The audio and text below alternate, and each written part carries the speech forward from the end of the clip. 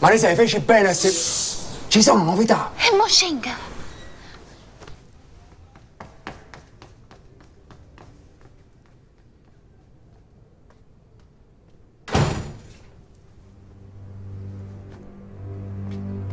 Dimmi tutto, Saro. Allora, che novità ci stanno? Marisa, io ti devo ringraziare. Che ha già fatto? Che fosse Lucio Pai l'assassino di Vito. Ovvero?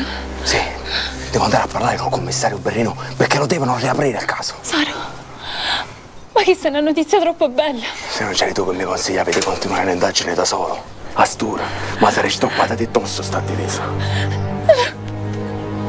Marisa, ma che fai? Piangi? Io ti do una bella notizia e tu piangi. No! Aspetta che ti prendo il fazzoletto.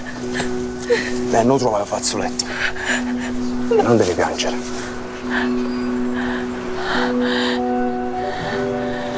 Questa è una notizia bella.